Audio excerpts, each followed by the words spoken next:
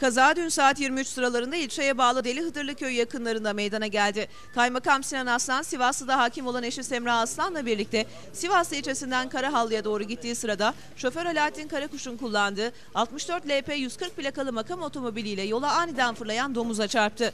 Savrulup ve şorampole yuvarlanan makam otomobilinde bulunan Kaymakam Sinan Aslan, eşi Sivaslı hakim Semra Aslan, koruması April Algül ve şoför Alaaddin Karakuş çeşitli yerlerinden hafif şekilde yaralandı. Yaralılar yoldan geçen sürücülerin haber vermesi üzerine olay yerine gelen ambulansla Uşak Devlet Hastanesi'ne götürülüp tedaviye alındı. Kaymakam Sinan Aslan, eşi Semra Aslan, koruması April Algül ve sürücü Alaaddin Karakuş'un sağlık durumlarının iyi olduğu öğrenildi.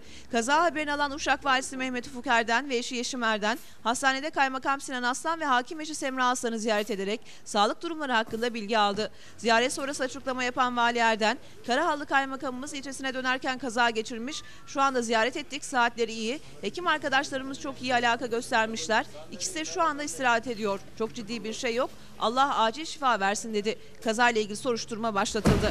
Teşekkür ederim. Ee, Kararlı Kaymakamımız e, eşiyle bir ilçesine dönerken e, kaza geçirmiş. Şu anda ziyaret ettik. Sıhhatler iyi. Hekim arkadaşlarımız çok alaka göstermişler. Sağlık personeli hepsi. İkisi de istirahat ediyorlar.